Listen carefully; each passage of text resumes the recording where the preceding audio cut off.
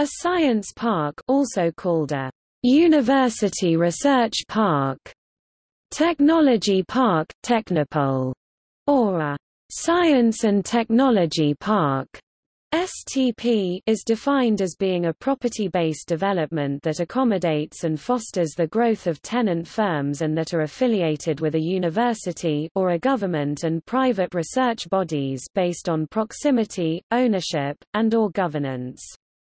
This is so that knowledge can be shared, innovation promoted, and research outcomes progress to viable commercial products.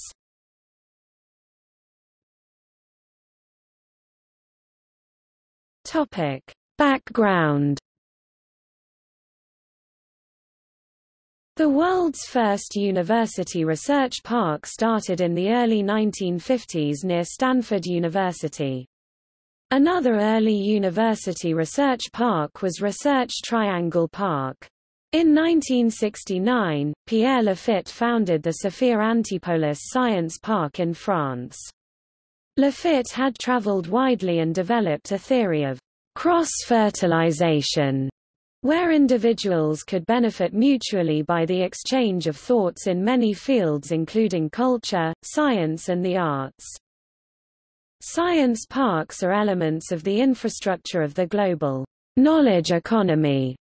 They provide locations that foster innovation and the development and commercialization of technology and where governments, universities and private companies may collaborate.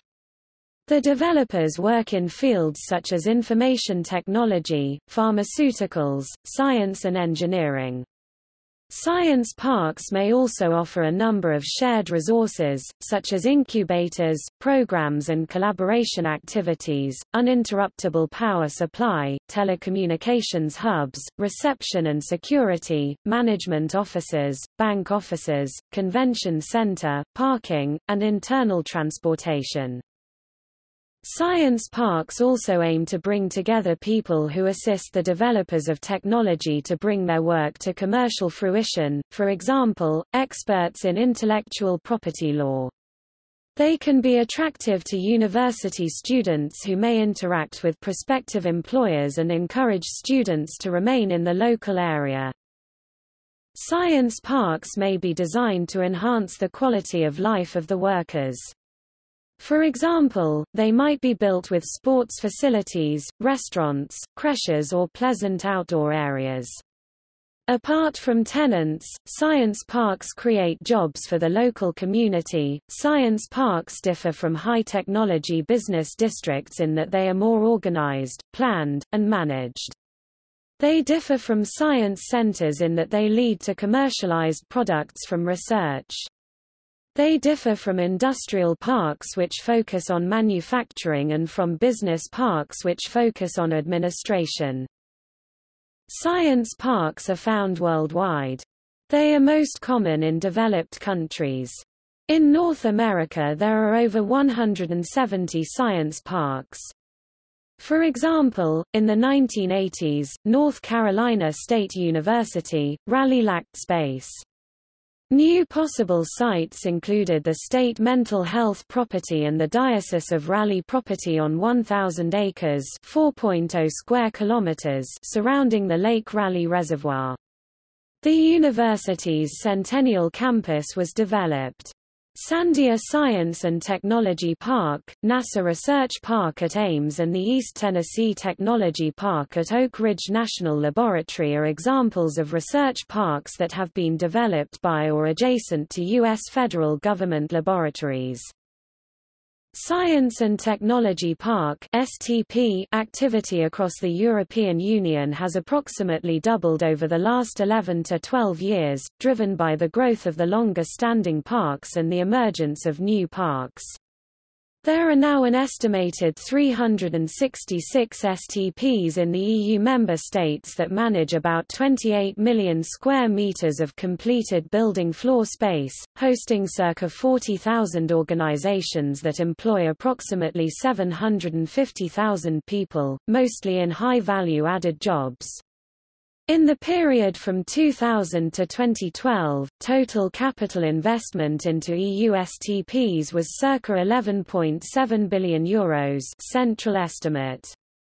During the same period, STPs spent circa €3 billion Euros on the professional business support and innovation services they either deliver or finance to assist both their tenants and other similar knowledge-based businesses in their locality. Increasingly, the reasons why STPs are sound investments for public sector support are becoming better understood and articulated. The evidence base shows that better STPs are not simply the landlords of attractive and well-specified office-style buildings. Rather, they are complex organizations, often with multiple owners having objectives aligned with important elements of economic development public policy as well as an imperative to be financially self-sustaining in the longer term. Topic definitions The Association of University Research Parks AURP, is a non-profit association consisting of university-affiliated science parks. It defines university research and science parks as property-based ventures with certain characteristics, including master-planned property and buildings designed primarily for private, public research and development facilities, high technology and science-based companies and support services, contractual, formal or operational relationships with one or more science or research institutions of higher education, roles in promoting the university university's research and development through industry partnerships, assisting in the growth of new ventures and promoting economic development, roles in aiding the transfer of technology and business skills between university and industry teams and roles in promoting technology-led economic development for the community or region. The International Association of Science Parks IASP, the worldwide network of science parks and areas of innovation, defines a science park as an organization managed by specialized professionals, whose main aim is to increase the wealth of its community by promoting the culture of innovation and the competitiveness of its associated businesses and knowledge-based institutions. To enable these goals to be met, a science park stimulates and manages the flow of knowledge and technology amongst universities, R&D institutions, companies and markets. It facilitates the creation and growth of innovation-based companies through incubation and spin-off processes, and provides other value-added services together with high-quality space and facilities. The Cabral Dahab Science Park Management Paradigm was first presented by Regis Cabral in 10 points in 1990.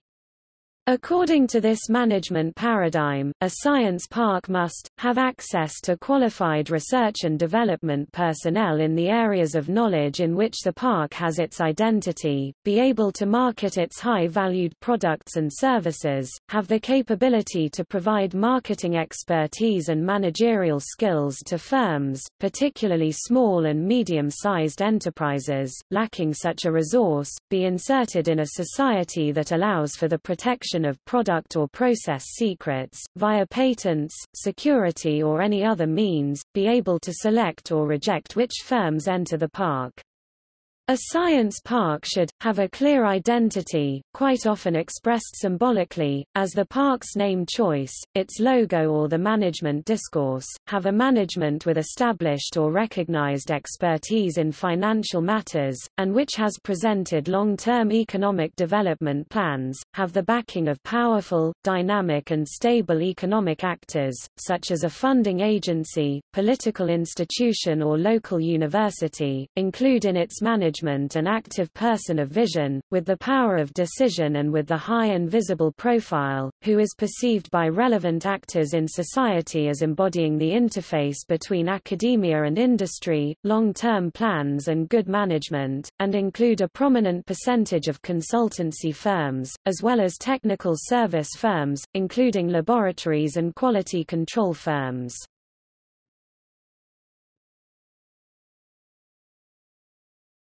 Topic: List of science parks. Some science parks include Topic. See also Business cluster. Cluster development. Business incubator.